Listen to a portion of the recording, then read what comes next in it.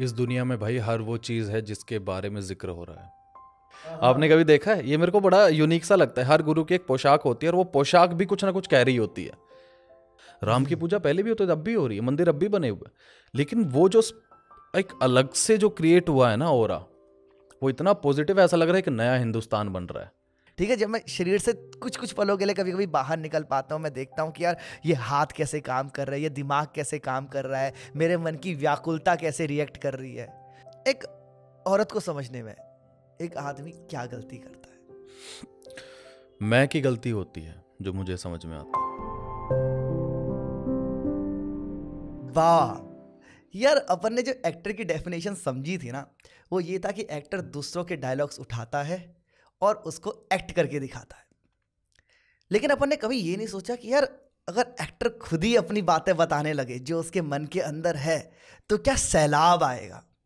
तो ऐसा ही सैलाब हमारे बावा कास्ट में आया जब एक एक्टर यहाँ पे आए और उन्होंने अपनी दिल की बातें कही।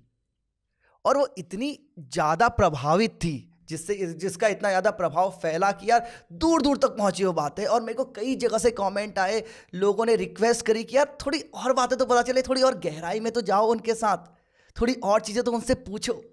तो इसीलिए पब्लिक डिमांड में, भारी पब्लिक डिमांड में हम उन एक्टर भाई साहब को अपने पॉडकास्ट में लेके फिर से आ गए हैं, दोस्त। तो एक बार आपको पता है वो कौन है बट फिर भी दिल में एकदम एक्साइटमेंट में एकदम ताली हो जाके स्वागत करते हैं। मैं अपने दिल से स्वागत करता हूँ। हमारे बहुत प्यारे मित्र और बहुत अज़ीज़ गेस्ट आदित्य भाई का। आदि भाई कैसे हो आप? एकदम बढ़िया भाई। इंट्रो सही सही पसंद आया हाँ, आपको? ठीक ठाक फ़र्स्ट क्लास बढ़िया। काफ़ी बार बैठ गए अब तो मतलब से टाइम हाँ, हो चुका है। काफ़ी काफ़ी बार हो गया। और मुझे पॉडकास्ट से सबसे प्यारी बात क्या लगती है ना आदि भाई? कि आज जितनी बार बैठते हो ना दोस्ती उतनी गहरी हो जाती है। हम्म। मतलब पहली बार जब बैठे जब हम उठे हमें पता था कि अब अपनी दोस्ती हो चुकी है। क्योंकि आप एक दूसरे के बारे में जान जाते हो। हम्म, गैर नहीं रहते अपने हो जाते हैं। जो बातें हम लोग नॉर्मली किसी को नहीं बताते वो सब बातें एकदम खुल के हो जाती हाँ। है ऑल ऑफ़ सडन जादू। इसके अंदर एक चीज़ ये भी है ना भाई कि आजकल लोग ना अपनी दिल की ख्वाहिशें बताना नहीं चाहते बस फ्रस्ट्रेट होकर ना एक कोने में बैठे हुए लोग बात नहीं करना चाहते हैं कम्युनिकेट नहीं करना चाहते लोगों को लगता है यार मैं बताऊँगा तो पता नहीं मैं कैसा लगूँगा। जब आप किसी के साथ बैठते हो ना चीज़ें शेयर करते हो तो आपका दिल हल्का होता है आपका मन हल्का होता है आपकी टेंशन हल्की होती है। लेकिन दिक्कत यह है कि कोई हल्का होना ही नहीं चाहता है। और एक डर भी है ना कि मतलब क्या कहेंगे? क्या कहेंगे और क्या फ़ायदा उठा लेंगे उस बात का। हम्म, तो एक बहुत हिम्मत लगती है इस तरीके से एक स्टूडियो में आके बैठने में कैमरा के सामने अपना दिल खोल के बात करना ये हम्म। दिखता आसान है बहुत बहुत मुश्किल काम है आदित्य भाई। एंड आप यहाँ पे आए हो आपने ये किया है आज आप ये कर रहे हो तो मैं दिल से कहना चाहूँगा कि मैं बहुत अप्रिशिएट करता हूँ इस चीज़ thank you thank you so much भाई। आप सुन रहे हो आपने बुलाया वो हमारे लिए अप्रिसिएशन है क्योंकि हम चाहते हैं कि हमें कोई सुने लेकिन किस ज़रिए से सुने? कहाँ सुने? मंच ज़रूरी है और ये मंच है। हम्म, है ना? एक एक्टर के लिए मंच बहुत बड़ी चीज़ होता है। क्योंकि वहीं से वो चलना शुरू होता है वहीं से वो कमाना शुरू करता है वहीं से वो अपनी बात रखता है वहीं से वो अपना एक्ट रखता है। तो मंच कोई भी हो बात पहुंचनी ज़रूरी है। एग्रीड। तो जैसे जैसे बात पहुंचानी बहुत ज़रूरी है जैसे आपने बोला तो मैं कहना चाहूँगा कि सबसे पहले जैसे आप हरियाणा से आते हो born and brought in Haryana. आप एक हरियाणा की आवाज़ हो इतने लोग आपको देखते हैं सुनते हैं एक बार थोड़ा हरियाणा से एक इंट्रोडक्शन करवाइए जिस जो कभी हरियाणा नहीं आया उसको बताइए कि यार कैसा है हरियाणा क्या है हरियाणा में? हरियाणा एक तो नाम से ही डिस्क्राइब हो जाता है हरियाणा। एक तो ना हरियाणा का मीनिंग ये होता है जहाँ हरि का आना हुआ श्री कृष्ण। हरि हाँ, आना। बोल देते हैं हरियाणा होता है वो हिंदी का चलो वो अलग चीज़ है हरियाणा। और दूसरा होता है हरियाणा जहाँ हरियाली बहुत होती है। हम्म, हरियाणा में गेहूँ बहुत ज़्यादा प्रोड्यूस होता है। तो दोनों चीज़ें हैं और हरियाणा वो स्टेट है जहाँ दिमाग से नहीं दिल से जीते हैं लोग। हम्म, वहाँ सोचते नहीं हैं लोग। बस जीना है ख्वाहिशें पूरी करनी है टॉर में रहना है डरना नहीं है साला किसी से। ना? हाँ, तो वो आपने वो देख लिया होगा वो रुतबा वो फॉर्चुनर थार स्कॉर्पियो वो सारी चीज़ें। वो क्योंकि वो जीनी है लाइफ वो ज़्यादा नहीं सोचते। आप हरियाणवी आदमी को किसी वर्ल्ड की किसी कंट्री में ले जाके बैठा दो आपको पता चल जाएगा हरियाणा का। हम्म, है ना? क्योंकि हम बाहर से तो चेंज हो सकते हैं अंदर के हरियाणा को नहीं छुपा सकते। वो निकल आता है। एक टॉर है हाँ। व्यवहार में ही एक टौरा बुरा होता है। हाँ। और वो बचपन से होती है यार। देखो हमारे यहाँ ना मैं हमेशा एक चीज़ बोलता हूँ कि हर स्टेट का खाना अलग होता है कल्चर अलग होता है। और जिस ये मैंने देखा है काफ़ी बार कि जिस जगह जिस तरीके का खाना होता है ना आपके वोकल आपकी पर्सनैलिटी आपका और उसी तरीके से बन जाता है। हरियाणा में ना हमेशा से खाना बड़ा हैवी रहा है पंजाब में भी बहुत हैवी है। जैसे लोग सुबह चाय लेते हैं थोड़े से स्नैक्स लेते नहीं यहाँ सीधे पराठे चलते हैं। सात आठ पराठे घी वी डाला मग्गा भर के मग्गा मतलब मग भर के वो पूरा चाय वाय। तो वो खाना हैवी होता है ब्रेकफास्ट ही ऐसा होता है। फिर काम इतना हैवी होता है खेती बाड़ी वाले काम होता है और फ़िज़िकल वर्क बहुत ज़्यादा होता है। गेम्स में सबसे ज़्यादा आपने देखा होगा हरियाणा से ज़्यादातर रेसलर्स निकलते हैं। अब तो वर्ल्ड वाइड आने शुरू हो गए ऑल ओवर स्टेट से आ रहे हैं। बट हरियाणा में हमेशा से ना एजुकेशन पे थोड़ा सा कम होता था पहले। पहले ये बोला जाता कि यार थोड़ा सा पढ़ वढ़ लो ठीक है? गवर्नमेंट जॉब ले लो आर्मी में चले जाओ पुलिस में चले जाओ या खेल पे थोड़ा बहुत ध्यान दो। और आज के टाइम में आप यकीन नहीं मानोगे सबसे ज़्यादा अगर गवर्नमेंट जॉब किसी चीज़ से लगी हुई है वो गेम्स से। है ओलंपिक में जितने प्लेयर हैं आज वो गवर्नमेंट जॉब में डीएसपी हैं एसपी हैं पुलिस वाले हैं आर्मी में हैं चीफ है। गेम बड़ा ज़रूरी है। हरियाणा के अंदर ना फ़िज़िकल वर्क बहुत ज़्यादा होता है। हम्म। हरियाणा की दोस्ती बड़ी फ़ेमस है हरियाणा का खाना बड़ा फ़ेमस है हरियाणा की टोर बड़ी फ़ेमस है हरियाणा का कल्चर बड़ा फ़ेमस है। और हरियाणा अपने आप में ही फ़ेमस है भाई। तो बिल्कुल यार एकदम सही कह रहे हो लेकिन इसके साथ एक और चीज़ है कि हरियाणवी को रूड बहुत बोला जाता है रूडनेस में भी बहुत फ़ेमस कहा जाता है। क्या कारण है? ये बदल भी रहा है यार आ, कुछ नहीं हम ना देखो हरियाणवी वाला आपने हर जगह सुना होगा और बात बहुत ज़्यादा फैक्ट है कि हरियाणवी ना मुँह पे होते हैं। उनको कुछ घुमा फिरा के चीज़ें नहीं आती। अगर और थोड़ा ना वोकल टेक्सचर और लैंग्वेज ऐसी है ना कि हम सीधा सपाट जब बोलते हैं ना तो ऐसा लगता है वो टोट मार रहा है। हम्म। फॉर एग्ज़ाम्पल किसी ने पूछा कैसा लग रहा है बढ़िया लग रहा है। वो ऐसा लग रहा है यार सही नहीं लग रहा है तो बढ़िया लग रहा है ठीक है। नॉर्मल सी बात खत्म कर दी। आदमी सुनना चाहता और नहीं है हमारे पास। जैसे किसी ने एड्रेस पूछ लिया अरे वहाँ जाना है चला जा फिर। है ना? तो एक एक बात मेरे को याद आती है कि जैसे एक हरियाणा का बंदा था रिक्शा वगैरह चला रहा था तो किसी आदमी ने आके उस शहर का कोई आया होगा बंदा बेचारा तो उसने आके रिक्शा वाले से पूछा भाई साहब जगह है? कह रहा जगह बेच के तो टम्पू लिया है। तो हम ऐसे ही है मस्त मोला आदमी हमें नहीं होती टेंशन हम नहीं सोचते भाई ज़्यादा हमें खाना पीना ऐश करनी है बस। और आप यकीन नहीं मानो हमारे हरियाणा के अंदर ना हमें बचपन से एक चीज़ सिखाई जाती है पहले किसी को छेड़ना नहीं बाद में किसी को छोड़ना नहीं हम्म ठीक है? और बचपन से हमारे बाप एक चीज़ बोलता है बेटा पिट के घर मत आना बस। पीट के ही आना। हाँ। तो वही है भाई अपने ऐश में जियो डरना किसी से है नहीं। खाओ पियो ऐश करो छोटी सी ज़िंदगी है। हम्म, ये ये जो कल्चर से मैं आता हूँ जैसे मैंने अपनी ज़िंदगी ज़्यादातर उत्तराखंड में बिताई है और अब मैं हरियाणा में रहता हूँ। तो मेरे लिए बहुत अलग है।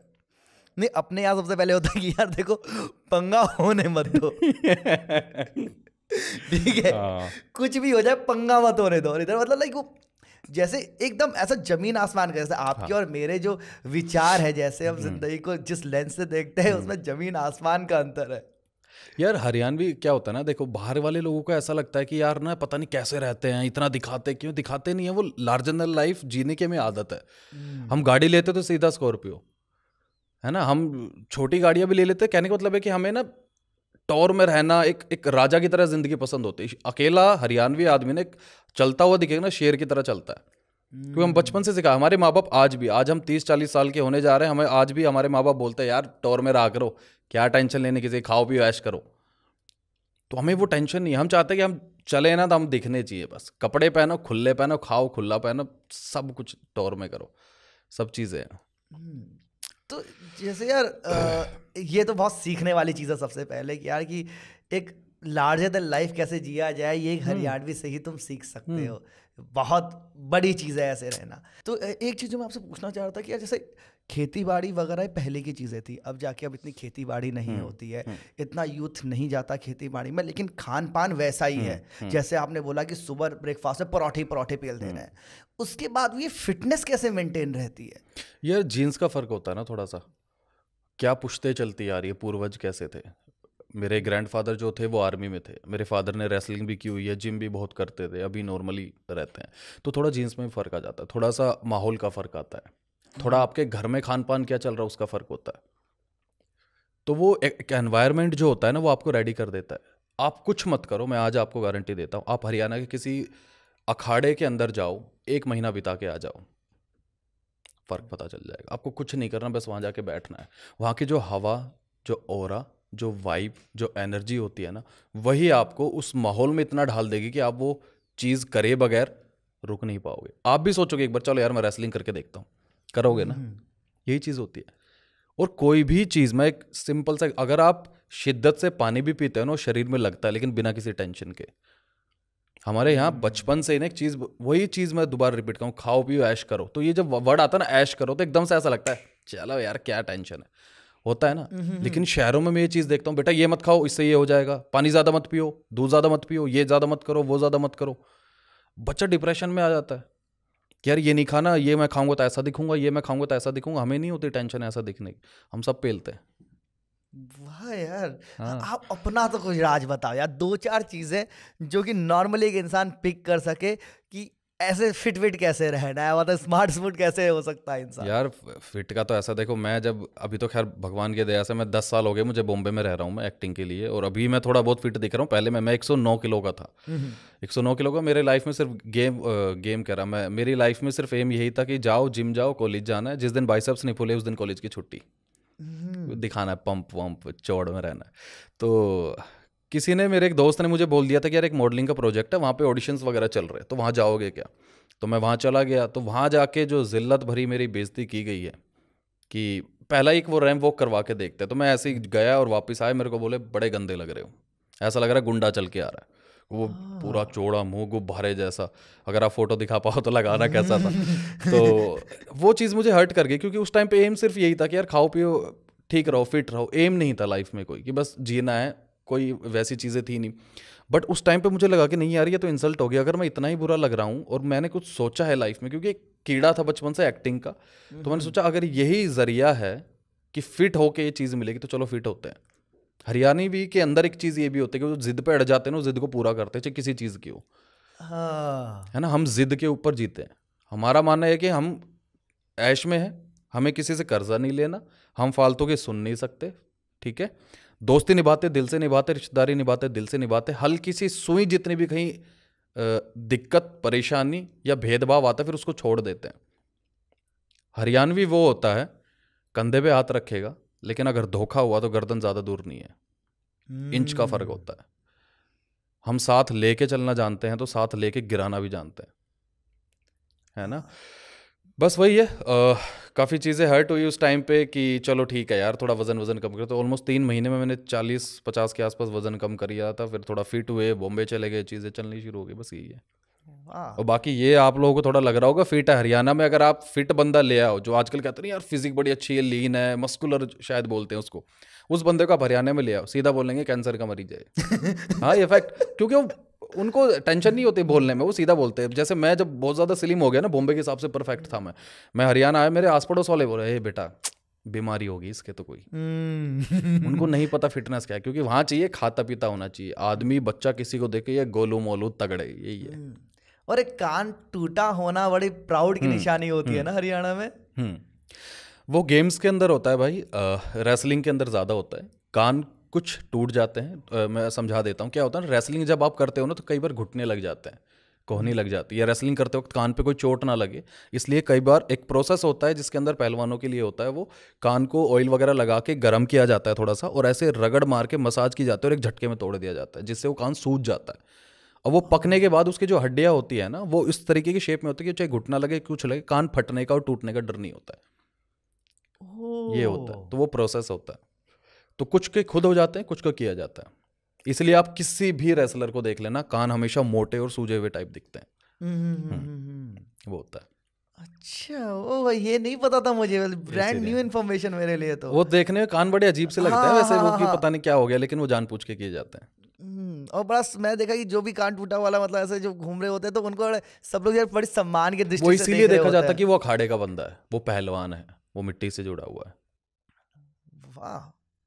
यार ये बताओ जैसे अब आप मुंबई में रहते हो हरियाणा से निकल के ठीक है तो क्या याद आता है यार हरियाणा के बारे में जब हम मुंबई में होते हो? पूरा हरियाणा ही याद आता है भाई।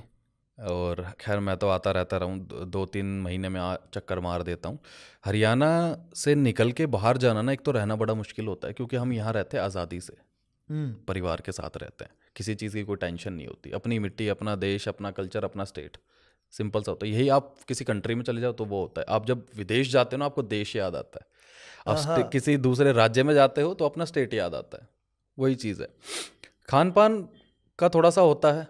यहाँ देसी चीज़ें हो जाती है वहाँ पैकिंग का खाना पड़ रहा है सब कुछ। वो है। अब वहीं वाले माहौल में ढल गए अब उल्टा ये हो गया कि हरियाणा वाला जम रहा है मेरे को खाना पीना। हाँ अब मैं यहाँ अगर ढंग से दो गिलास दूध पी लो लूज मोशन लग जाए भाई। ये हकीकत है। वो आदत इतनी होगी ना अभी जैसे अभी कुछ दिन पहले की बात है कि मदर कुछ रोटियाँ वगैरह बनाए तो फादर जो खाते हैं आटा आटे के अंदर जौ चना गेहूँ और कुछ आइटम छोटे मोटे और होते हैं जो उन सबको पीस के एक मोटा आटा बनता है थोड़ा सा। उसकी रोटियाँ बनाई जाती है। वो रोटी होती है इतनी मोटी एक ही खा लो तो पेट भर जाए। अब वो हमसे हजम ही नहीं हो रही वो तीन दिन तक पेट में पड़ी हुई है। वो डाइजेस्ट नहीं हो रही क्योंकि पावर नहीं बची इम्यूनिटी नहीं बची वो। क्योंकि बाहर रह के वो पानी चेंज हो गया वो माहौल चेंज हो गया। अब मैंने सीधा वही पैकिंग का आटा मंगाओ। अब अलग रोटियाँ बन रही है। शहर के लौंडे हो गए हो पूरे के पूरे। वही है। लुक से हमारा एक और चीज़ भाई। यार अगर किसी को बाल सर पे टिकाए रखने हो हाँ। जिसकी अब भी उम्मीद हो मतलब वैसे हाँ, सही आदमी से पूछ रहे हैं ना क्योंकि बाल बड़े हैं इसलिए। भाई तो। हाँ। बाल ज़िंदा रखने के लिए इंसान को क्या करना चाहिए यार मैं सच बता रहा हम्म। हूँ मुझे मैं कोई प्रोडक्ट यूज़ नहीं करता और मैं कोई केयर नहीं करता हूँ। और मेरे फैमिली में ऐसा भी नहीं है कि मेरे सबके वो चलते आ रहे हो कि सबके बाल अच्छे हैं फैमिली में। नहीं मेरे फादर के ज़्यादा नहीं है। उड़े हुए हैं आगे से सफ़ा चट हो गया उनका। बट ये है कि नेचुरली है और मैं थोड़ा खाना अच्छा करने की कोशिश करता हूँ हरी सब्ज़ी ज़्यादा खाता हूँ और बाहर की चीज़ें कम खाता हूँ। सरसों का तेल बालों में लगाता हूँ वो मैं नहीं छोड़ता हूँ कभी भी और एक दो बार मसाज वगैरह होती रहती हैं। और कुछ चीज़ें ना हमें अवॉइड करनी चाहिए जैसे डायरेक्ट गर्म पानी सर पे कभी नहीं डालना चाहिए। ये बेसिक मैंने अपने गाँव में अपने दादा से सीखी थी। गर्म पानी जब बालों में जड़ें कमज़ोर होती हैं है ना? तो नॉर्मल पानी से धोना चाहिए। फ़िल्टर पानी से बाल नहीं धोने चाहिए क्योंकि पानी फ़िल्टर पानी ऐसा होता है जिसके अंदर कोई मिनरल ही नहीं होता ज़ीरो होता है वो। वो आपके बालों को रफ कर देता है। हम्म। है ना? आपने सुना होगा दही से बाल धोने चाहिए क्योंकि मॉइस्चर चाहिए बालों को चिकनाहट चाहिए।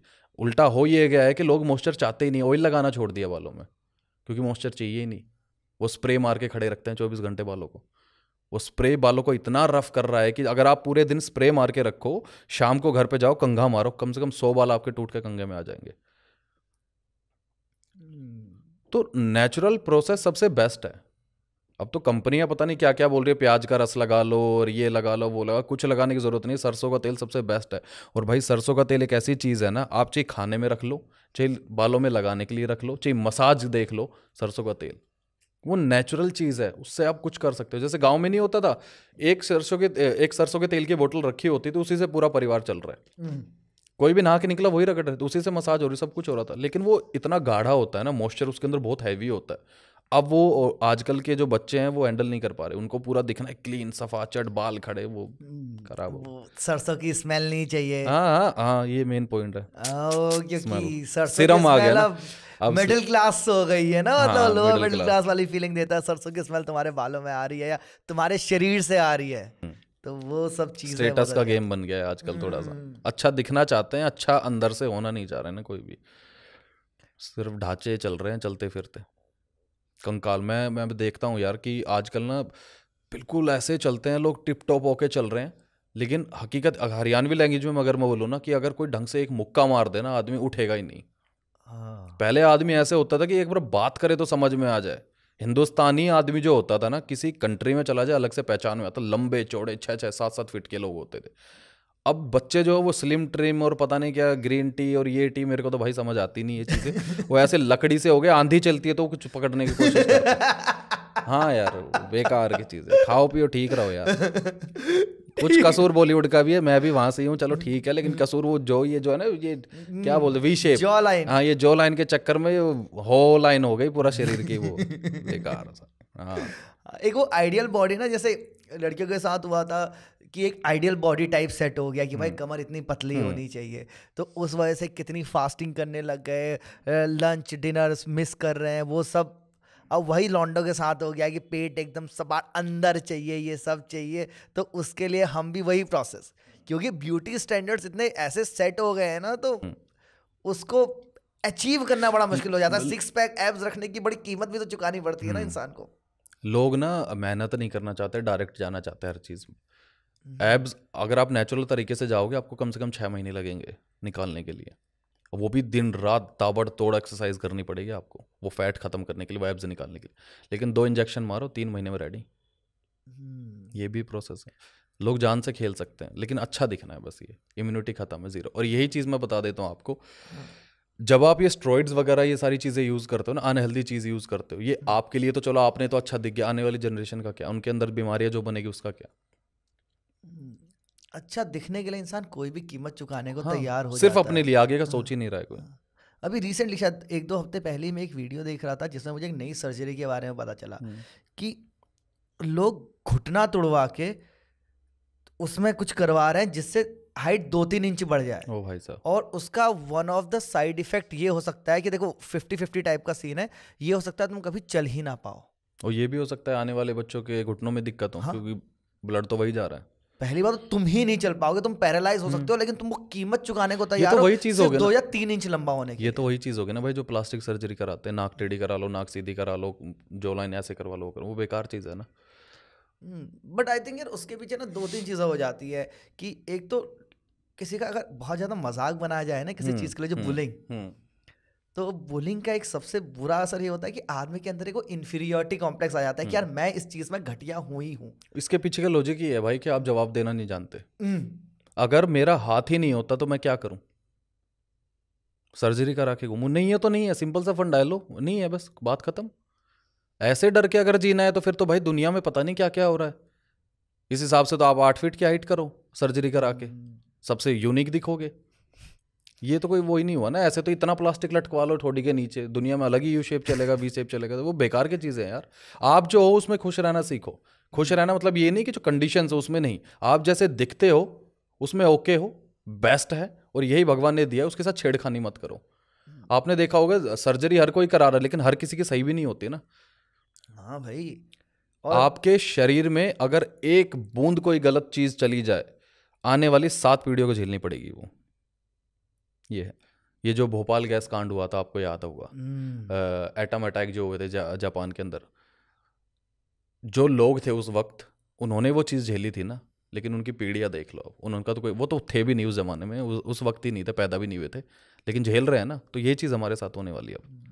शायद जेनेटिक कंपोजिशन में कुछ चेंजेस आ जाते हैं तो वो तो जीन्स तुम्हारे पीढ़ी दर पीढ़ी जा रहे हैं तो उनमें भी कुछ ना कुछ इसी- इसी- के चांस रहते ही इसी चीज़ कुछ पे हरियाणा में एक चीज़ बोली जाती है कि जो बचपन में खाया है वो आपकी जवानी निकालेगा जो जवानी में खाया है वो आपका बुढ़ापा निकालेगा।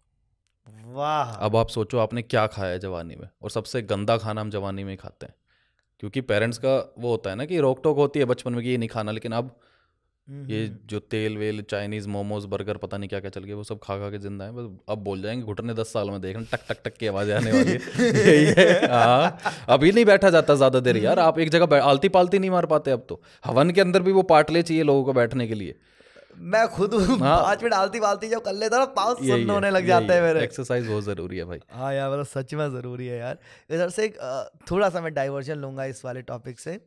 जैसे हम लोगों ने पिछली बार जब हम बैठे थे आदि भाई हम लोगों ने गुरुजी के बारे में बात की थी। हम्म, ठीक है कि आपकी आस्था कैसे जागी आप गुरुजी को किस तरह मानते हो? तो अब जैसे गुरुजी एक गुरु हैं हम्म, उसके साथ ओशो एक गुरु है प्रेमानंद जी महाराज गुरु हम्म। हैं और भी ढेर सारे गुरु हैं। हम्म। तो क्या सीखने की कोशिश करते हो आप इन हम्म। सब गुरुओं से? क्या है मेन एजेंडा इन सब गुरुओं को सुनने का? एजेंडा भाई मेरा ये है मैं दुनिया में हर गुरु को मानता हूँ चाहे किसी धर्म से हो। बस मुझे उनसे कुछ सीखना है। पॉजिटिव चीज़ वाइब। प्रेनंद सॉरी प्रेमानंद महाराज जी जो हैं आपने देखा होगा आजकल काफ़ी दिखते हैं हर जगह दिखते हैं। वो जिस तरीके से रह रहे हैं जिस तरीके से बातें कर रहे हैं और जिस पीड़ा में रह कर के बातें कर रहे हैं आपको पता होगा उनके कुछ सर्जरीज वगैरह चलती रहती है किडनी फेल है। तो जिस माहौल में रह के ना वो इतनी पॉजिटिव वाइब दे रहे हैं कि मेरा देखो ऐसा हाल है लेकिन मैं फिर भी पूजा पाठ कर रहा हूँ तो तुम क्यों नहीं? मैं इस ज़रिए से इस थॉट के साथ ज़िंदा हूँ तो तुम क्यों नहीं? प्रेमानंद जी को देख के ना मुझे हमेशा ना वो प्यार वाली फीलिंग आती है कि वो प्यार करना सिखा रहे हैं। वो आपके मन के थॉट्स को गायब कर रहे हैं। इसी के उलट ओशो जो हैं वो आपके माइंड को क्लियर करते हैं स्पष्ट करते हैं कि ये ऐसे है तो ऐसा है। जैसे एक छोटा सा एक किस्सा याद आता है मैं कहीं पता नहीं मैंने कहीं पढ़ा या देखा था शायद कि कोई इंटरव्यू ले रहा था ओशो जी का तो उन्होंने बोला कि आपके पास बहुत सारी रोल्स रॉय हैं। ऐसा क्यों? हाँ। तो उन्होंने बोला कि बहुत सारी कितनी है? तो उन्होंने बोला सेवनटीन कहता not no my friend nineteen 92 या नाइनटीन 90 90 90 कुछ था नहीं नहीं नहीं उन्नीस बोला था। बेसिकली उन्होंने ये बोला था कि कितनी रोल्स रॉय हैं आपके पास और बहुत ज़्यादा हैं। हम्म। मैंने सुना है कि आपके पास बहुत ज़्यादा रोल्स रॉय हैं। तो उन्होंने बोला ओशो जी ने बोला कि कितनी है? तो उन्होंने बोला सेवनटीन बोला नहीं उन्नीस है और ये बहुत ज़्यादा नहीं है। हम्म, तो हमारे लिए रोल्स रॉय बड़ी है है ना? काउंटिंग बड़ी है लेकिन उन उस इंसान के लिए नहीं है। और वो एक पॉइंट पे लगता है हाँ यार उन्नीस कोई बड़ी ज़्यादा वो तो नहीं है लेकिन उनके लिए ठीक है। हम जिस लेवल पे है ना हमारे लिए वो बड़ी चीज़ है। हाँ, ओशो जी का कहना स्पष्ट था क्लियर कट था। जो तुम्हें करना है ना कर लो। जब सेटिस्फाई हो जाओगे तब मेरे पास आना। और इंसान सेटिस्फाई ज़िंदगी भर नहीं होता। हम्म, उनका ये था उन्होंने ना एक सेक्स के ऊपर एक किताब लिखी थी मैं नाम भूल गया उनका कि क्या था मैं नाम पता नहीं मुझे याद नहीं आ रहा तो एक किताब थी उनकी उनका ये था कि आपको ये चीज़ पसंद है आप ये करो संतुष्ट हो जाओ और ये होता है। अगर आपको मैं एक छोटा सा एग्ज़ाम्पल देता हूँ आपकी फेवरेट जो कार है ना फॉर एग्ज़ाम्पल अगर आप, आपको फरारी पसंद है फरारी ले लो छः महीने बाद मेरे से बात करना। नहीं रहोगे वो पसंदीदा चीज़ नहीं रहेगी आपकी। तो हर चीज़ की एक लिमिटेशन होती है है ना? तो वो इतना रहना सिखाते हैं सारे गुरु अच्छे हैं सब कोई ना कुछ सिखा रहे हैं। हर गुरु का मैंने ये देखा है कि अच्छी चीज़ ये है कि हर एक गुरु की ना पोशाक अलग होती है। आपने कभी देखा है? ये मेरे को बड़ा यूनिक सा लगता है हर गुरु की एक पोशाक होती है और वो पोशाक भी कुछ ना कुछ कह रही होती है। प्रेमानंद जी महाराज की जो वो पोशाक है ना वो पीले रंग वाला जो आता है वो इतनी पॉजिटिव वाइव देती है ना उनका वो चंदन का तिलक हम्म, है ना? वो धर्म को लेकर के इतना अट्रैक्शन पैदा करता है ना। ओशो जो की ड्रेस थी ना वो ऐसा लगता था कि यार ये ऐसा ड्रेस मैंने पहना हुआ कभी देखा नहीं है। लेकिन वो पहन के खुश है। खुशी मैटर करती है। रहन सहन मैटर करता है। आप किस तरीके से चल रहे हो? आप क्या पहन रहे हो? आपका संतुष्ट होना ज़रूरी है। हर गुरु की एक पावर अलग होती है। मैं जिन गुरु जी को मानता हूँ गुरु तो सारे ही मैं मानता हूँ लेकिन गुरु जी से कुछ खास लगाव जो मैंने बताया भी था हम्म, उनका भी ये था वो चोला पहन के चलते थे। टी शर्ट भी पहनते थे लोअर्स भी पहनते थे जीन्स पैंट भी पहनते सब कुछ पहनते थे। गुरु का मतलब ये नहीं है कि एक ही ड्रेस पहन के बैठ जाओ। गुरु का मतलब ये भी है कि वो कुछ भी पहने कुछ भी कहे वो यहाँ से जो निकलता है ना वो स्पष्ट होना चाहिए वो क्लियर होना चाहिए ज़िंदगी बदलनी चाहिए। हम्म, मैं ओशो जी को बहुत सुनता हूँ। हम्म। ठीक है अब धीरे धीरे प्रेमानंद महाराज जी को भी सुन रहा हूँ हम्म, अभी गुरु जी को भी थोड़ा सुनना शुरू किया। तो ओशो जी की एक बात जो मेरे को होता ना कि जैसे गुरुओं की एक खास बात ये होती है कि आपने आज सुन लिया। एक साल बाद दो साल बाद कभी अचानक से चमकेगा कि यार क्या बात सुनी थी हम्म, क्योंकि वो टाइम लिमिट होती नहीं उस टाइम लिमिट नहीं होती तो मैं समझने में समझने में में वक्त लगता है। बहुत एक राहत इंदौरी साहब जो शायर थे बहुत बढ़िया तो वो कहते थे कि अगर मैंने एक शेर सुनाया तो मैं पसंद आ गया। हम्म, तो वो अच्छा है। हम्म, लेकिन मैंने एक शेर सुनाया तो मैं समझ ही नहीं आया तो वो यकीनन अच्छा है। हम्म, अब जैसे ओशो जी बहुत अपने प्रवचन में बोला करते थे कि यार साक्षी भाव रखो। अब ये मैं कितनी बार सुन लिया मुझे समझ ही नहीं आया। हम्म, अब धीरे धीरे करके समझ में आता है। जब कभी कभी मैं खुद तो कुछ करते हुए देखता हूँ और अचानक से मुझे महसूस होता है कि ये काम मैं कर रहा हूँ लेकिन अचानक से मैं उसको देख भी रहा हूँ एक ऑब्जर्वर दृष्टि से। फील कर पा रहे हो फील कर पा रहा हूँ कि मैं इसमें नहीं हूँ मैं देख रहा हूँ कि मशीन कैसे काम कर रही है। ठीक है जब मैं शरीर से कुछ कुछ पलों के लिए कभी कभी बाहर निकल पाता हूँ मैं देखता हूँ कि यार ये हाथ कैसे काम कर रहा है ये दिमाग कैसे काम कर रहा है मेरे मन की व्याकुलता कैसे रिएक्ट कर रही है। हम्म, और मुझे एहसास होता है कि मैं इन सब का पार्ट ही नहीं हूँ। हम्म, मैं एकदम ऊपर से इसको देख रहा हूँ। हम्म, और जब ये मेरे को समझ में आता है कभी कभी साक्षी भाव तो उससे मुझे समझ में आता है कि इस ये जो शरीर है जहाँ पे मैं अभी हूँ ये एक रस्ते का पड़ाव है। है। ना? जैसे किसी ट्रिप से मैं आता हूँ उससे कुछ कुछ यादें लेके फिर हम लोग अपनी ज़िंदगी में कंटिन्यू कर लेते हैं। तो यहाँ से जब गुजरूँगा मैं जब निकलूँगा यहाँ से इस ज़िंदगी से तो अचानक से ऐसा हुआ कि एक ट्रिप में आए थे भाई ज़मीन पर ठीक है? ये ये देखा इन लोगों से मिले ये सब आओ चलो आगे चले बढ़िया मज़ा आया लेट्स गो अहेड तो वो अब जैसे उन्होंने साक्षी भाव बोल दिया, अब वो धीरे धीरे धीरे धीरे धीरे धीरे मेरे अंदर वो अलग अलग वैसे होता है ना, जैसे पटाखे फूटते हैं। ऐसे करके पटाखे फूटते रहते हैं और नई नई चीज़ें मुझे ऐसे समझ में आती रहती हैं इस तरीके से। तो यार जैसे आप तो बहुत आस्था में बिलीव करते हैं यार, आपको आदि भाई क्या लगता है कि इस दुनिया में आप पहली बार आए हो या पहले आ चुके हो? आ चुका हूँ, मुझे ये फील होता है। और ये चीज़ें ना कई बार आपको फील होती है, आप समझ नहीं पाते उस चीज़ को। डेजा वो भी जो बोलते हैं वो भी एक फीलिंग हम्म। होती है। मैंने ये देखा है कि इस दुनिया में ऐसे भी लोग हैं जो पुनर्जन्म में बिलीव करते हैं कुछ लोग नहीं करते मैं करता हूँ। क्योंकि मैंने वो लोग देखे हैं मेरे ही गाँव में लोग देखे हैं। हम्म, अभी कुछ बार कुछ टाइम पहले के कुछ महीने या साल बीते होंगे एक बड़े बुज़ुर्ग इंसान थे मतलब वो एक होते ग्रैंड फादर एक होते ग्रेट ग्रैंड फादर अब वो ग्रेट ग्रैंड फादर अगर कोई अपनी आँखों से देख ले तो वही बड़ी बात होती है हम तो नहीं देख पाए थे। तो ना उनके पोते के बच्चे हो चुके थे तो वो सांस छोड़ चुके थे जा चुके थे मतलब तो उनकी अर्थी वर्थी तैयार और ये हमारे गाँव की बात है अर्थी वगैरह सब कुछ तैयार हो चुकी थी। उनको लेटाया था सफ़ेद कपड़ा ढका था और उनकी आँखें खुल गई थी। वो कहते हैं ना कि सब कुछ रेडी डॉक्टर्स ने चेक लिया डेड बोल दिया था उनको और उनकी आँखें खुल गई। और ये होने के बाद जब उनकी आँखें खुली उसके बाद भी वो कम से कम सात साल तक ज़िंदा रहे। और उन्होंने बताई वो चीज़ें कि मैंने ऐसा ऐसा देखा मुझे बोला गया कि तुम गलत आए हो गलत वक्त पे आए हो। और वो झूठ भी हो सकता है सच भी हो सकता है लेकिन एक इंसान जो सांस छोड़ दे उसके बाद फिर आ जाए। और ये एक किस्सा नहीं ऐसे अनगिनत किस्से हैं। हम्म, इसलिए भी बिलीव करता हूँ कि वो बच्चे भी हैं जो तकरीबन बोलने की उम्र में आए समझने की उम्र में आए ही हैं वो आठ साल दस साल की उम्र में आए हैं। उन्होंने ये तक बता दिया कि उस गाँव में एक ऐसा परिवार है उस परिवार के उन उन लोगों का नाम ये ये है जिससे वो कभी मिला ही नहीं है। और इस इस जगह पे ये ये चीज़ें रखी हुई है और उस घर में एक इंसान था जिसकी डेथ इस वजह से हुई थी। उस बच्चे को वहाँ ले जाया जाता है उनसे मिलाया जाता है और वो एक्यूरेट ए टू जेड चीज़ें सही बता देता है। उसका क्या? हाँ, ये ये मैंने भी सुना है इनफैक्ट मेरी बहुत करीबी दोस्त है हम्म। उनकी माता जी के साथ ये हुआ था। हम्म हम्म। कि जब वो चौदह पंद्रह साल की थी तो शायद ग्यारह साल के आसपास के रहेंगे दस ग्यारह साल की थी तो पहली बार दिल्ली आई। तो जब वो दिल्ली आए अपने माँ बाप के साथ तो वो बताने लग गए कि यार, यहाँ से ये है, यहाँ से वो है, यहाँ से हम इस तरफ़ जा सकते हैं, उधर जा सकते हैं। माँ बाप शॉक्ड कि यार, इसको कैसे पता? पहली बार दिल्ली लेके आ रहा है और बच्चा माँ बाप को बता रहा है कि यार, यहाँ से ये रास्ता जाता है, यहाँ पे ये इलाका है, यहाँ से वो इलाका है। जब पूछा तो उसने बोला कि यार मुझे याद है, मैं इससे पहले यहाँ रह चुकी हूँ। उनको ये याद था कि उनकी सास ने उन्हें कुएँ में धक्का दे दिया गया था इस वजह से उनकी मौत हुई थी। हम्म। और उसको कई साल हो चुके हैं तो इधर उनको रास्ता वास्ता याद आया उन्होंने कन्फर्म लेके नहीं गए और डरते हैं ना माँ बाप की यार हम्म। तो उन्होंने ये पता उनको चल गया। फिर उसके बाद जब वो घर आए तो धीरे धीरे जब वो चौदह ये बात थोड़ी दब दब गई भूल भाल गए चौदह पंद्रह साल की उम्र होगी कि उनको सपने आने लगे कि उनका पुराना पति उनको लेने आ रहा है। और वो सपनों में चलने लग गई थी। हम्म। तो तब उन्होंने कुछ ऐसे मंत्र वंत्र करवाया किसी पंडित तांत्रिक को हम्म। बुलाया और इस सबको रोका।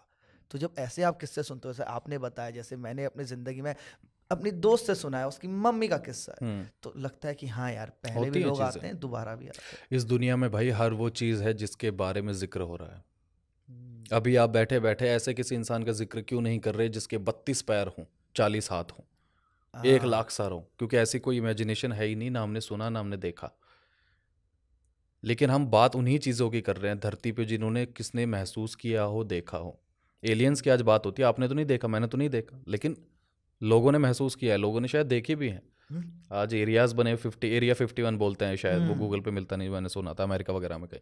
वहाँ लोग कह रहे हैं रिसर्च हो रही है चीज़ें सारी हैं। मैं बचपन में इस चीज़ को लेकर ना बचपन में बड़े कॉमिक अंदाज में जवाब देता कि भाई सिंपल सा फंडा है अगर शक्तिमान होगा तो किलविश भी होगा। सिंपल सा फंडा है। अगर भगवान है तो भूत भी है। इस दुनिया में हर वो चीज़ मौजूद है जिसका आप ज़िक्र कर रहे हो। हर एक चीज़ है। मन दिखाई नहीं देता लेकिन मन है। आत्मा दिखाई नहीं देती लेकिन आत्मा है। हवा दिखाई नहीं दे रही लेकिन हवा तो है। कुछ चीज़ आप महसूस कर सकते महसूस कर सकते हो। यार तो दोबारा आना चाहते हो इसके बाद? हाँ शायद। वो तो आखिरी बार जब सैया पे लेटेंगे मन में ख्वाब क्या होगा वो उस पर डिपेंड करता है। हम्म, मेरा हमेशा एक मन में सवाल रहता है कि यार जब आखिरी बार आँखें बंद हो रही हूँ तो मैं क्या सोच रहा हूँ ये सवाल मेरे को बड़ा खाता है। हम्म, पता नहीं क्यों ये कई बार ऐसा लगता है कि यार जब मैं जा रहा हूँ ना तो वो क्या आखिरी सवाल होगा मेरे माइंड में? हाँ, और यही कहा जाता है हिंदू धर्म में कि आखिरी सवाल नहीं होना चाहिए आपके मन में क्योंकि वो सवाल आपको दूसरा जन्म दे देगा। कष्ट पैदा करता है वो। फंसा देता है योनि में। इसीलिए हाँ, कहते हैं कि कोई इच्छा नहीं रहनी चाहिए जब आप जाओ। किसी का बुरा नहीं होना चाहिए किसी का कर्जा नहीं होना चाहिए। आ, सब कुछ पाकर सब कुछ छोड़ देने का नाम ही तो ज़िंदगी है। हम्म, हाँ, कुछ नहीं है यार बेफिजूल के धोखाधड़ी लोगों के लेन देन और जेलसी और पता नहीं क्या क्या चीज़ें हैं बेकार में फंसे हुए। एक वक्त आता है हर इंसान की लाइफ में एक वक्त आता है जब उसे रियलाइज़ होता है कि यार मैं क्यों पागल बना हुआ था? क्यों ये चीज़ें कर रहा था? कुछ था ही नहीं। हर किसी की इंसान की ज़िंदगी में आता है। फ़र्क इतना है कि कोई समझ जाता है कोई उसी भाव में बह रहा होता है। हम्म, हमारे आगे है तो शायद हम यहाँ बैठे हैं। जिनके नहीं आए वो मौज मस्ती में है इस टाइम कभी और आएगा सबका अपना अपना आता है सबको आता है यार। हर कोई हर इंसान बाप बनता है। हर इंसान बाप चाचा मामा सारी चीज़ें बनते हैं लेकिन आपको कब कहाँ क्या बोलना है ये आपके वर्ड्स होते हैं। हम्म, किसको कितना हर्ट करना है ये आपके पास होता है। यार अब अगर आज तक की ज़िंदगी में यार खुदा ना खास्ता अगर यही हमारे आखिरी क्षण हो तो क्या संतुष्ट हो इस ज़िंदगी से? नहीं। काफ़ी चीज़ें हैं जो चाहता हूँ हो जाएँ। संतुष्ट इसलिए नहीं इस संतुष्ट इसलिए नहीं है क्योंकि अभी ना ज़िंदगी जीना शुरू ही किया अभी समझ में आने शुरू हुए थे रिश्ते क्या होते हैं। अभी तक तो एक भाव में थे। अकल अब आई है। अब अकल आ गई है तो चीज़ें सही कर लें। है ना? वो चीज़ है। वाह एक और चीज़ इसमें यार हम्म। मतलब कि क्या चाहते हो कि लोग कैसे याद रखें आपको? बढ़िया आदमी था बस यही है।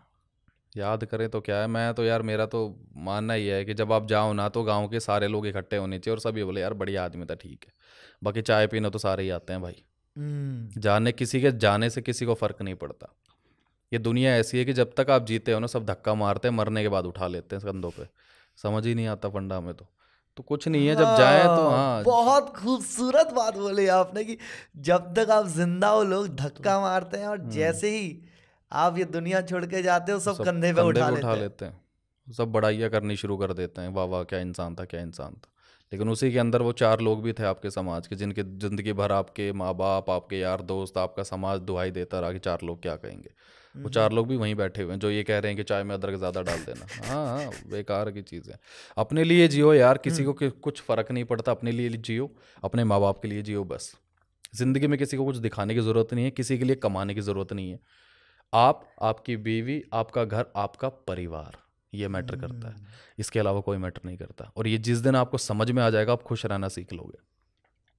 और ये बहुत बाद में समझ में आता है। क्योंकि आधी ज़िंदगी हम जब पैदा होते हैं ना तो हमें अकल नहीं होती है। हम बस जो देख रहे हो तो समझना शुरू कुछ भी उठा बच्चा कुछ भी उठा के पी लेता है क्योंकि दिमाग नहीं होता वो सोचता नहीं है। और सबसे बेहतर ज़िंदगी वही होती है क्योंकि सोच नहीं रहा होता। कुछ छीन लिया तो रो दिया कुछ दे दिया तो हंस दिया यही ज़िंदगी है। और ये ज़िंदगी सिर्फ़ दस साल तक की होती है नौ से दस साल की। उसके बाद हम दिमाग लड़ाना शुरू करते हैं। छीन लिया गुस्सा हो जाओ। छीन लिया मार दो। छीन लिया कुछ उठा लो। और ये चलता है जब तक आप मर नहीं जाते। और ये गुस्सा ये अग्रेशन ये बढ़ता चला जाता है फिर। यार यहाँ पे मेरे को हेल्प मी आउट है यार। यार यहाँ पे एक बड़ा कॉन्ट्रडिक्टिंग हो गया है मेरे लिए थोड़ा समझना ये। हम्म, एक हरियाणवी कल्चर कहता है कि भाई किसी ने तुझसे छीन लिया तो जाने मत दियो उसको। हम्म, है ना एक? हम्म, टॉरे का कल्चर है। एक स्पिरिचुअल नेचर कहता है कि यार, क्या तेरा है, क्या उसका है, उसने छीन लिया तो जाने दे यार। अब तेरे तक कल तेरा था, आज किसी और का है। क्या ही हो गया उसमें। तो क्या ये ये आपस में मन में ऐसे लड़ाई नहीं होती मन की कि यार कब अपने मन के स्पिरिचुअल इंसान को सुने, आध्यात्मिक इंसान को सुने, कब अपने अंदर के हरियाणवी को सुने? यार एक इस चीज़ के अंदर ये चीज़ मैटर करती है कि बैलेंस कितना ज़रूरी है आपकी लाइफ में। आप अगर प्योर स्पिरिचुअल इंसान बन गए या सिर्फ़ और सिर्फ़ पूजा पाठ में डिपेंड हो गए तो आपका परिवार छूट जाएगा। आप साधु में कन्वर्ट हो जाओगे। क्योंकि आप 24 घंटे मंदिर के आगे नहीं बैठ पाओगे अगर आप पारिवारिक इंसान हो तो।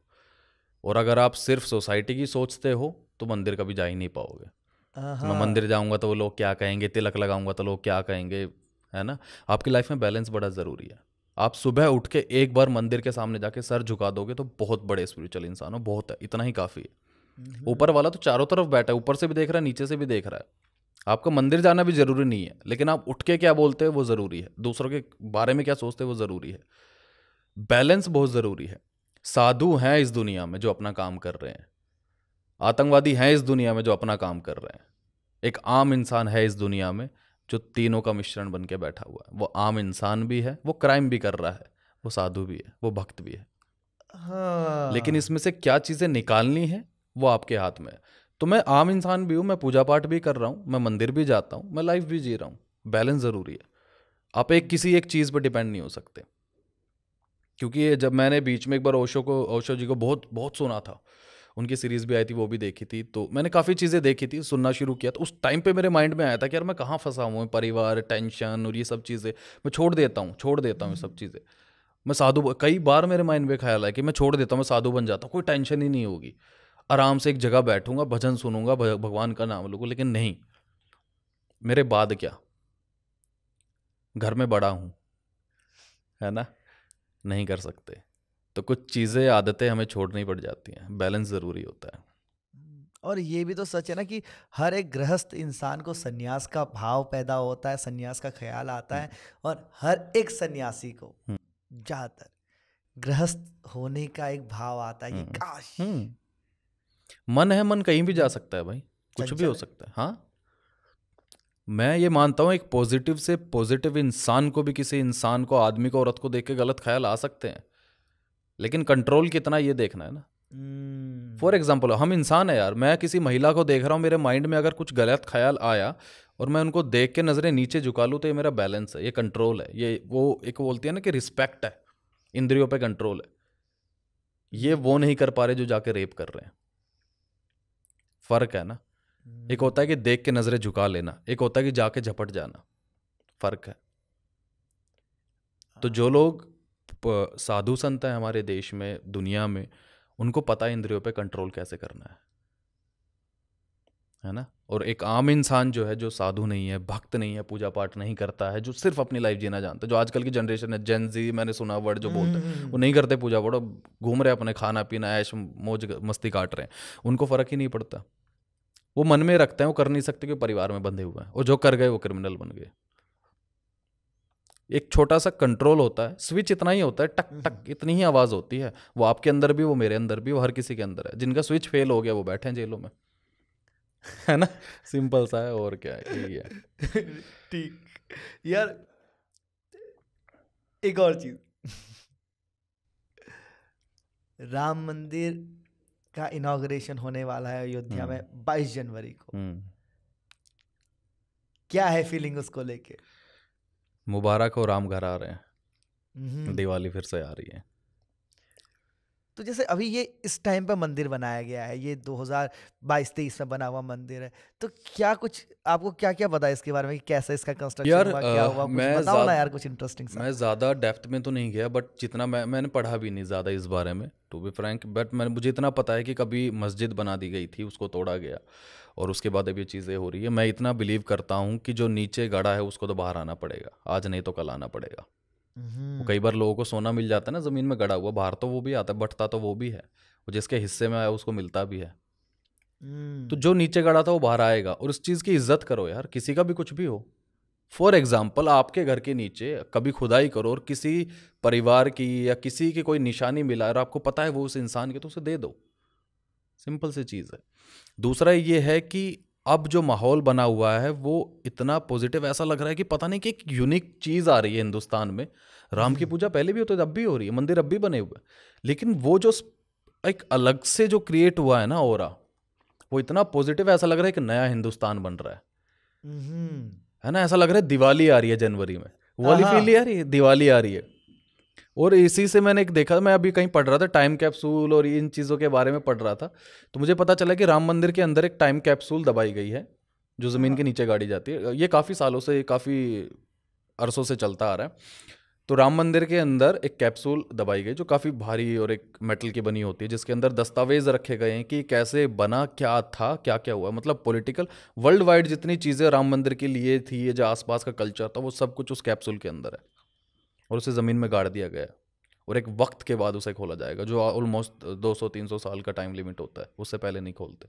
वो इसलिए कि आने वाले वर्षों में इन केस कि कभी दुनिया ख़त्म हो जाए या कुछ हो जाए ऐसी चीज़ें तो जो आए, वो जब निकले तो उन्हें पता चले कि यहाँ क्या हुआ करता था, वो कल्चर पता चले। जैसे कि एक अभी मैंने पढ़ा था कि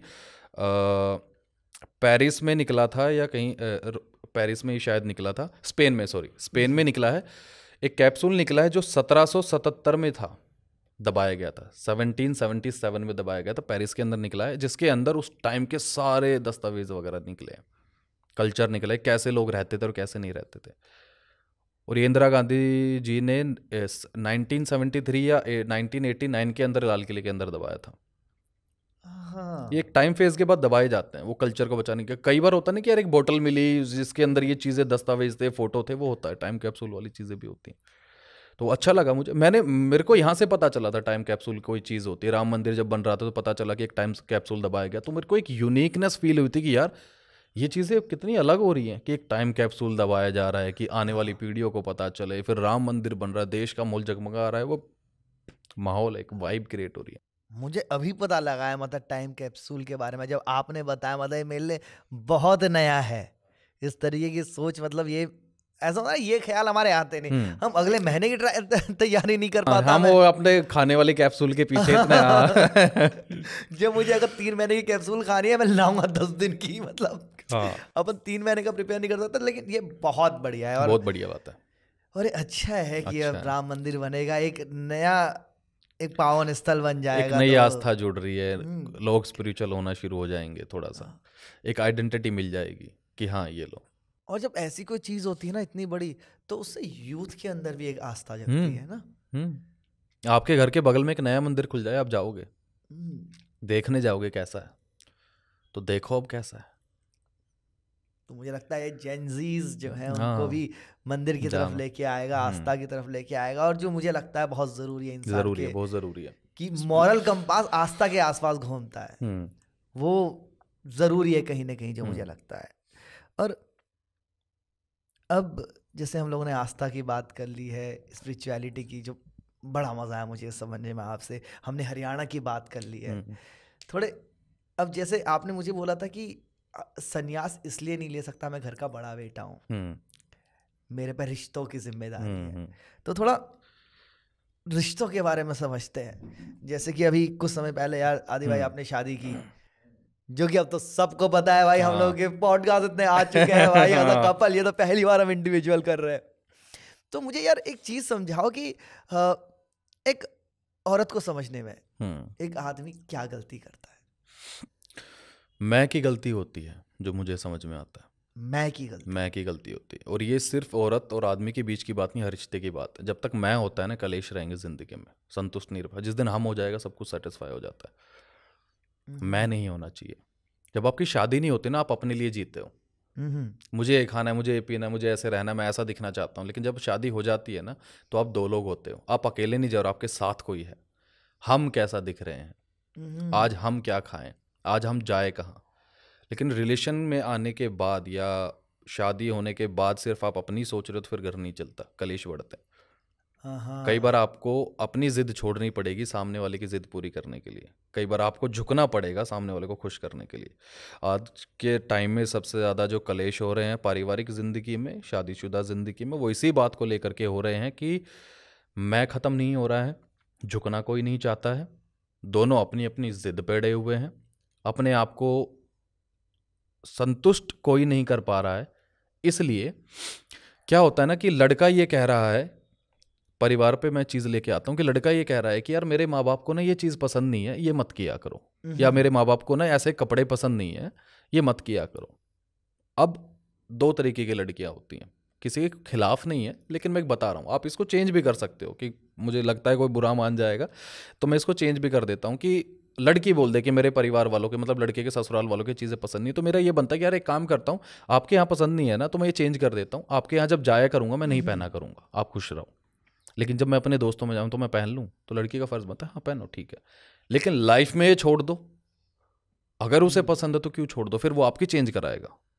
क्लैशेस बढ़ेंगे। हाँ, इसी चीज़ को वापस से घुमा लो तो लड़की का फ़र्ज़ ये बनता है कि यार आपके माँ बाप को क्यों पसंद नहीं है? सवाल करो। सवाल करना गलत नहीं है फिर जवाब भी दो। क्यों पसंद नहीं है? लड़का बोलता है, इसलिए पसंद नहीं है क्योंकि यार उनको शर्म आती है, आप जीन्स पहनते हो तो। यहाँ हमारे खानदान में साड़ी पहनी जाती है या सूट पहने जाते हैं। तो आपका फ़र्ज़ बनता है, ठीक है, जब भी कोई पारिवारिक चीज़ें होंगी तो मैं साड़ी पहनूँगी, ठीक है। मेल झोल ज़रूरी है, झुकना ज़रूरी है, समझना ज़रूरी है और झुकना गलत नहीं होता है है ना? हर जगह झुकना भी सही नहीं होता है, हर जगह सीना तान के खड़ा रहना भी सही नहीं होता हाँ। दोनों में एक फ़र्क होता है। हम गलत जगह सीना तान के खड़े होते हैं और हम गलत जगह झुकते हैं। आप कभी भी देख लेना आप वहीं झुकते हो जहाँ आपकी इंसल्ट हो रही होती है। बल्कि वहाँ तो सीना तान के खड़ा होकर जवाब देना चाहिए था। हम्म, हम सुन के आ जाते हैं। हाँ, इस पे एक शेर मैंने एक आ, सुना था कि जहाँ सर ना झुक जाए हम्म। उसे दर नहीं कहते। हम्म। जहाँ सर ना झुक जाए उसे दर नहीं कहते और हर दर पे जो झुक जाए उसे सर नहीं कहते। परफेक्ट है यही है। हम्म, समझना ज़रूरी है यार हम पे आ जाओ मैं मैं कुछ नहीं रखा है। हम दोनों के अंदर काफ़ी चीज़ें होती है मैं कुछ कपड़ों के लिए उन्हें बोल देता हूँ। ये आम ज़िंदगी है मैं बोल देता हूँ यार मुझे इन्हें कपड़ा पसंद नहीं आ रहा तुम्हारे ये जो पहना हुआ है। अनफिट से दिखते हो बड़े अजीब सा दिखता है। आजकल तो वो लड़कियों को मेरे प्लाजो समझ नहीं आता वो ना जूते दिख रहे ना पाँव दिख रहे वो घसेड़ते हुए चल रहे वो समझ नहीं आता मैं मैं नहीं मना कर देता हूँ ये प्लाजो वाला मेरे को पसंद नहीं है भाई हम्म, तो वो बोलती है चलो नहीं पहनेंगे ठीक है इसमें इतना बड़ा मुद्दा क्या है? लेकिन इस इस चीज़ के ऊपर तलाक तक हो जाते हैं भाई कि तुमने कमेंट कैसे कर दिया मेरे कपड़ों पे? तुम्हारे माँ बाप कौन होते हैं? मेरे माँ बाप ने आज तक मना नहीं किया। अलग हो जाओ मेरे को नहीं रहना। ये तो कोई वही था ही नहीं ना।